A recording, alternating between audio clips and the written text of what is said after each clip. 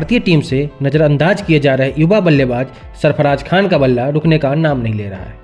घरेलू क्रिकेट में रनों का अंबार लगाने के बाद भी सरफराज को टीम इंडिया में जगह नहीं मिल रही।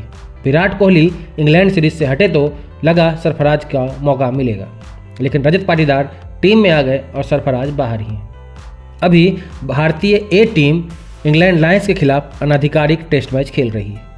सरफराज ने अहमदाबाद में हो रहे इस मुकाबले में तूफानी शतक ठोक दिया है।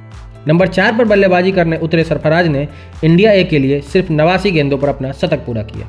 यह फ़र्स्ट क्लास क्रिकेट में उनका चौदहवा शतक है। लायन के खिलाफ पिछले मैच में भी उन्होंने अर्धशतक लगाया था।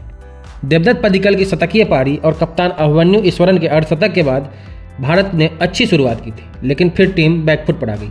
22 रन बनाने के भीतर टीम के चार विकेट गिर गए, लेकिन फिर सरफराज ने पारी संभाली और वॉशिंगटन सुंदर के साथ एक सौ उनहत्तर रन जोड़े। 26 साल के सरफराज 161 रनों की पारी खेलने के बाद ओलिवर प्रिंस की गेंद पर आउट हुए। 160 गेंद की अपनी पारी में उन्होंने 18 चौके और पाँच छक्के मारे।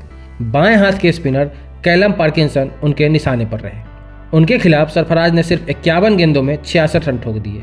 प्रिंस के खिलाफ उन्होंने 14 गेंद में 31 रन बनाए।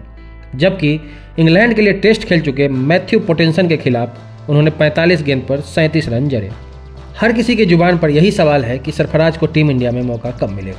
उन्होंने साउथ अफ्रीका में इंट्रा स्क्वाड मुकाबले में भी शतक ठोका था। पैंतालीस फ़र्स्ट क्लास मैच की छियासठ पारियों में सरफराज के नाम उनतालीस सौ बारह रन है। उनका स्ट्राइक रेट और औसत दोनों सत्तर का है। इस दौरान सरफराज ने चौदह शतक और ग्यारह अर्धशतक मारे। वह 301 रनों की पारी भी खेल चुके हैं, लेकिन इसके बाद भी अभी तक टीम इंडिया में नहीं आए। अब देखते हैं, क्या सरफराज को इस पारी के बाद जगह मिलती है या उनका इंतज़ार और भी लंबा रहता है। क्या आप सरफराज को इंडियन टीम में देखना चाहते हैं? अपनी राय कमेंट बॉक्स में ज़रूर बताएँ।